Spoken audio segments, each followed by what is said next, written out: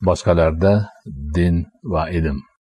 O'rta asrlardagi hammaga ma'lum hodisalardan keyin musulmonlardan ta'sirlangan boshqalarda tabiiy ilmlar rivojlana boshladi.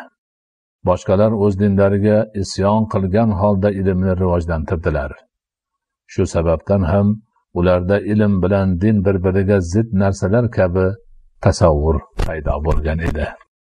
Bunday holatning paydo bo'lishiga asosan ulardagi buzuq diniy e'tiqod sabab bo'lgan edi. Ular uchun muqaddas sanalgan tavrotda odam atoga yeyishi man qilingan daraxt ilm va ma'rifat daraxti edi. Tavrotda aytilishicha alloh insonga ilmu ma'rifatni ravo ko'rmagani uchun uni mazkur daraxt mevasidan yemoqni man qilgan edi. Odam alloh taologa isyon qilib ma'rifat daraxti mevasidan yedi va ilmi ziyoda bo'ldi. Shu sababdan u alloh taoloning g'azabiga duchor bo'ldi va dargohidan quvildi zulm va jabr tariqasida ilohiy ta'limotni bu shaklda buzilishi oqibatida ular musulmon yurtlarida ravnaq topgan ilmlarni ikki asr davomida qabul qilmay turib qoldilar. Chunki cherkov namoyandalari mazkur ilmlarni birinchi ma'siyatning ayni o'zi deb hukm chiqargan edilar.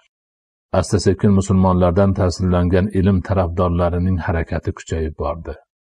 Ular cherkov tarafidan olib boriladigan shafqatsiz choralarga o'tda yoqish joduda qiymalash kabilarga ham qaramasdan o'z kurashlarini davom ettirdilar. Oxir oqibat ilm tarafdorlari g'olib keldilar. Va ifodali qilib aytadigan bo'lsak dinni cherkov binosiga qamab qo'ydilar. Keyinchalik ularda ilm dinu diyonat va aqida o'rnida qabul qilinadigan bo'lib qoldi. Ular ilm tasdiqlagan narsaga ishonishar boshqasini rad etishar edi. Boshqalar nazarida diniy aqidalar fikri ojiz kishilar tomonidan to'qilgan afsonalar kabi tushunilar edi. Ularda bunday tushunchaning kelib chiqishiga dinlardagi aqidalari sabab bo'lgan bo'lsa bordir.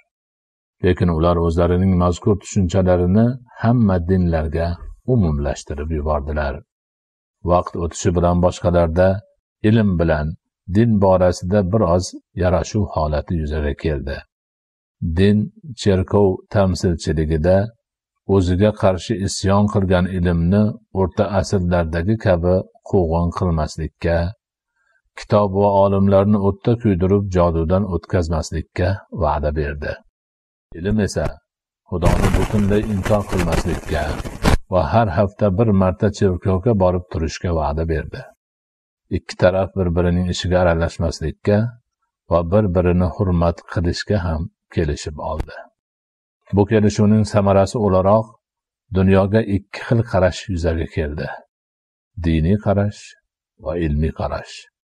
Bu qarashlar bir biriga tamoman zid bo'lishi ham mumkin edi. Ammo bir birini hurmat qilar edi.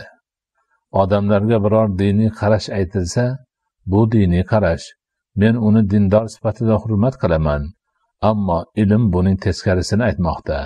Men shunga ishonaman deydigan bo'lib qoldilar misol uchun dorilfunun professori dinning kelib chiqishi haqida karl marksning safsatasini dars qilib o'tganda talaba unga dinning kelib chiqishi haqidagi cherkovni gapini aytsa bu sening diniy e'tiqoding men ilmiy gapni gapirmoqdaman degan javobni eshitadigan bo'ldi.